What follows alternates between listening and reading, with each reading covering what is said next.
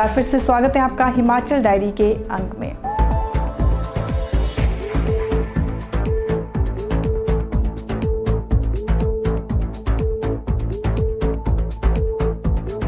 हमीरपुर में गणतंत्र दिवस के अवसर पर मिनी मैराथन का आयोजन किया जा रहा है, जिसमें एनसीसी कैडेट्स और स्कूली बच्चे भाग लेंगे। यह मैराथन सुबह साढ़े आठ बजे शुरू हो जाएगी। यह जानकारी उपायुक्त मदन चौहान ने दी। उपायुक्त हमीरपुर मदन चौहान ने जानकारी देते हुए बताया कि गणतंत्र दिवस के अवसर पर एनसीसी कैडेट्स और स्कूलों के बच्चों के लिए मिनी मैराथन का आयोजन किया जा रहा है।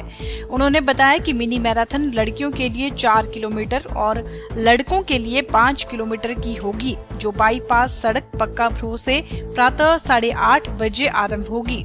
उन्होंने बताया कि मैराथन विजेता को राजकीय वरिष्ठ माध्यमिक पाठशाला में मनाए जा रहे जिला स्तरीय गणतंत्र दिवस समारोह में पुरस्कार देकर सम्मानित किया जाएगा।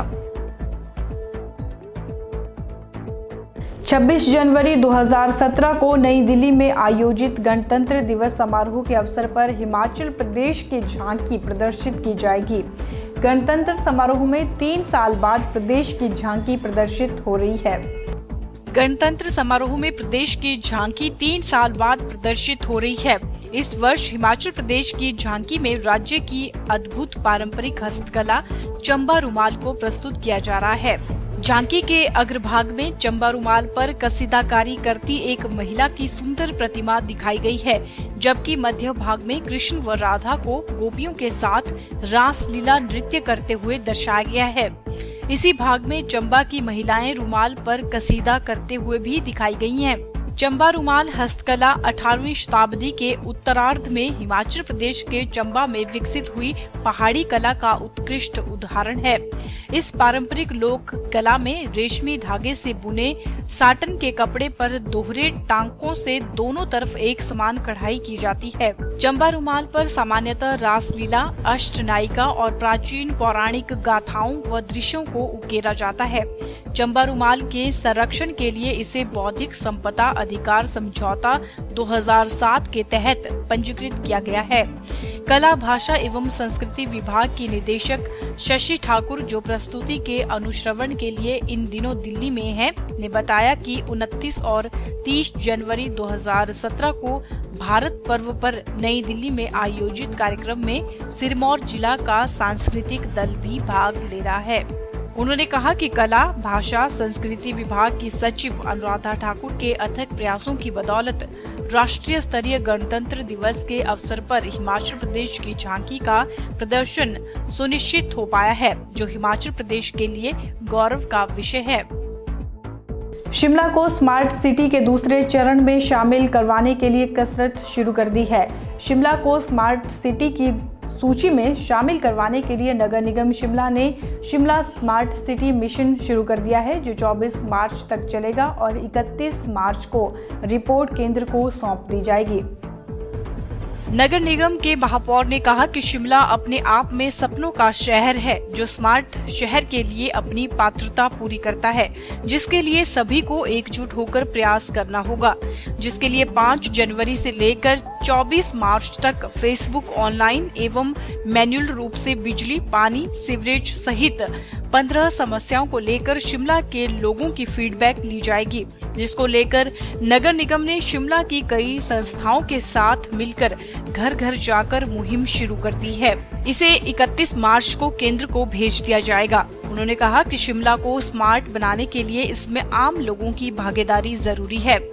आज जैसा कि आपको मालूम है, पिछली पाँच जनवरी से लेकर नगर निगम शिमला जो है, विभिन्न सेक्शंस जो इस शहर के नागरिकों के हैं, उसके सुझाव जो है ले रहा है। हमने 10 तारीख से लेकर जो है, विभिन्न हमारे जो रेजिडेंट वेलफेयर एसोसिएशन है यहाँ पर जो सिटीजन फोरम्स है, जनता के संगठन है, उनके सुझाव जो हम ले रहे हैं। आज हमने जो है यहाँ पर डीसी ऑफ़िस के कार्यालय में जो है, जो हमारे विधायक यहाँ पर है। जो शिमला नगर निगम की प्रीति के अंतर्गत जो चुने गए हैं, उनको और विभिन्न कॉरपोरेशन और बोर्ड्स के जो चेयरमैन और वाइस चेयरमैन हैं, उनको और यहाँ पर जो ज़िला परिषद के सदस्य हैं और जो ज़िला परिषद के चेयरमैन हैं, उनको जो है आज स्मार्ट सिटी के सुझावों के लिए आमंत्रित किया था। तो इसमें काफ़ी चर्चा के बावजूद जो है काफ़ी बहुमूल्य जो सुझाव हैं, वो आए हैं और हमारे अधिकारियों ने स्मार्ट सिटी की प्रपोजल कैसे बननी है, वो भी जो है यहाँ पर एक प्रेजेंटेशन दिया गया। मैं आपके माध्यम से शहर की जनता को जो है, वो अपील करना चाहता हूँ, आग्रह करता हूँ कि ये जो शिमला शहर को स्मार्ट सिटी की प्रपोजल है, ये नगर निगम जो है, इसको शिमला शहर के शहरवासियों के सुझावों के अनुरूप ही इसको जो है बनाना चाहती है। तो इसलिए आप जो हर स्तर पर नगर निगम जो कार्य कर रहा है, आप जो है इसमें भागीदारी करें।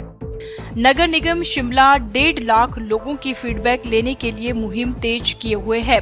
लोग 15 मूलभूत सुविधाओं पर अपने सुझाव दे रहे हैं जिसके तहत शिमला के भाजपा विधायक एवं कुसुमटी के कांग्रेसी विधायक ने भी नगर निगम को अपने अपने सुझाव दिए हैं। रखी गई मिशन स्मार्ट सिटी शिमला। इसमें जो सजेशंस मांगे गए हैं जनप्रतिनिधियों से और साथ में एज वेल एज पब्लिक से भी इसमें आ, आ, क्योंकि 50 49 सिटीज़ जो हैं अभी सिलेक्ट हुई हैं उसमें स्मार्ट सिटी के लिए, जिसमें करीबन एक हज़ार करोड़ रुपए हर सिटी को मिलेगा। इसमें शिमला भी एक है।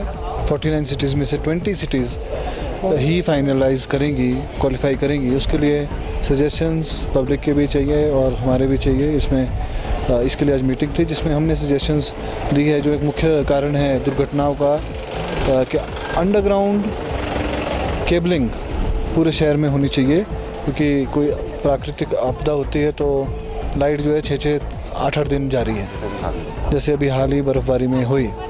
आइंदा ना हो, इसके लिए अंडरग्राउंड केबलिंग इलेक्ट्रिसिटी की भी और टेली टेलीकॉम की भी एज वेल एज जो इंटरनेट की तारें डलती हैं, आए दिन प्राइवेट कंपनीज़ जैसे ही मेटल होती है रोड वैसे ही खोदना शुरू कर देती हैं, वो बंद हो। और उसके लिए डकेट्स जो हैं, हर एक सड़क पर लगें ये शिमला स्मार्ट सिटी बने हम उम्मीद करते थे कि ये पहले राउंड में होगा। लेकिन उस समय ये विभिन्न कारणों से नहीं हुआ। अब टोटल जो 109 सिटीज़, स्मार्ट सिटी में आनी हैं, उनमें कंपटीशन के लिए शिमला भी एक सिटी है और टोटल लगभग 49 सिटीज़ इसमें पार्टिसिपेट कर रही हैं, जिसमें से 20 सिलेक्ट होनी हैं। शिमला एक अलग प्रकार की सिटी है हिल स्टेशन है ये हिंदुस्तान का। अंग्रेज़ों की राजधानी रही है ये। इसका जो एटमॉस्फेयर है, वो लंदन से मिलता जुलता है और यहाँ की जो पुरानी हेरिडिटरी बिल्डिंग्स थी, वो भी लंदन के आर्किटेक्चर के आधार पर बनी थी। लेकिन दुर्भाग्यवश, अधिकांश बिल्डिंग्स जो है उसमें से जल गई हैं। तो हमारा पहला तो इसमें जो है, वो सुझाव मेरा ये है कि शिमला में सबसे बड़ी ज़रूरत जो है वो इंफ्रास्ट्रक्चर को क्रिएट करने की है और उसमें पानी यहाँ की सबसे बड़ी समस्या है।